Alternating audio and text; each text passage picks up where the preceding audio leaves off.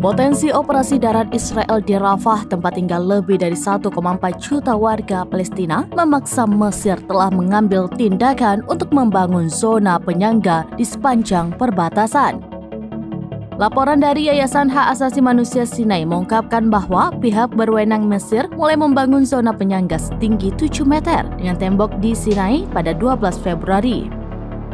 Tujuannya adalah untuk menyediakan perlindungan bagi pengungsi jika terjadi migrasi massal dari Gaza dengan target penyelesaian dalam waktu 12 bulan 10 hari.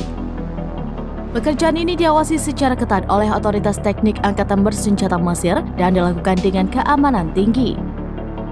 Wall Street Journal mengutip para pejabat Mesir mencatat upaya yang sedang berlangsung untuk menciptakan kawasan tembok di dekat Gaza yang mampu menampung lebih dari 100 ribu orang sebagai bagian dari rencana darurat. CNN Internasional mengkonfirmasi perkembangan tersebut, mengutip gambar satelit yang menunjukkan pembangunan zona penyangga baru di Mesir dengan tembok di sepanjang perbatasan Gaza.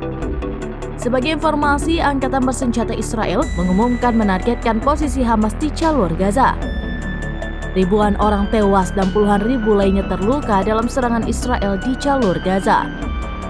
Statistik terbaru Kementerian Kesehatan di Gaza mengungkapkan jumlah korban tewas akibat serangan brutal Israel di jalur Gaza sejak 7 Oktober telah melonjak menjadi 27.365 orang dengan lebih dari 66.630 orang terluka.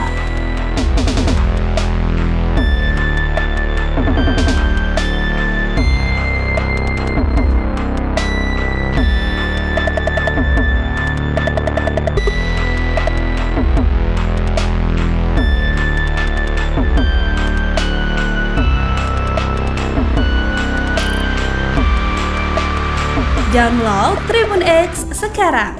Menghadirkan lokal menjadi Indonesia.